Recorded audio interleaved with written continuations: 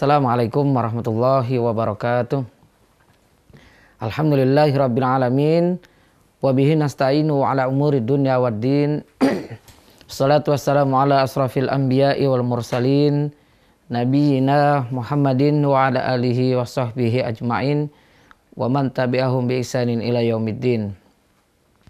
Asyhadu an la ilaha illallah wahdahu la syarika wa asyhadu anna Muhammadan abduhu wa rasuluh la nabiyya ba'dah. Rabbi israh li sadri wa yassir li amri wa hlul 'uqdatam min yafqahu qawli. Para pemirsa TVmu dan netizen khususnya yang telah mengirim pertanyaan ke kami.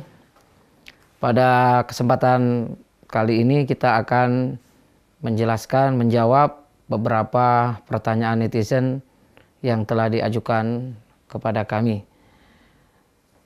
Pertama, ini yang masuk langsung saja kita bahas.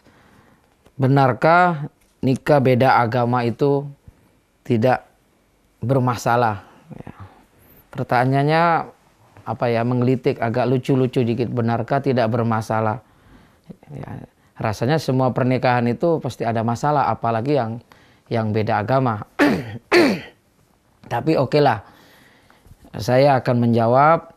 Mudah-mudahan bisa pertanyaan ini dipahami dengan jawaban yang sesuai.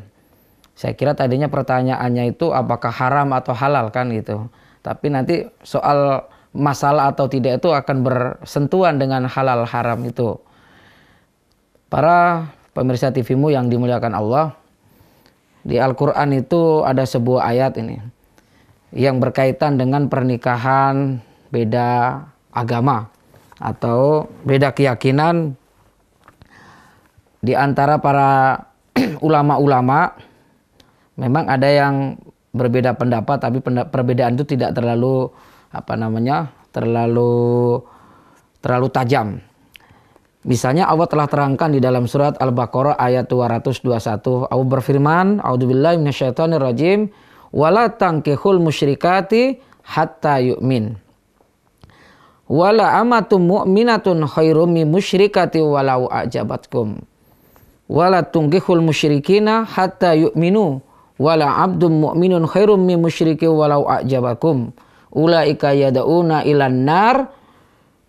Wallahu yad'u ilal jannah wal maghfirah. Biidni. Wa yubayyinu ayatihi linnasi la'allahum yatazakkarun secara garis besar artinya wala tangkihul musyrikati hatta yu'min janganlah kalian menikahi perempuan-perempuan yang syirik, yang musyrik sampai mereka beriman.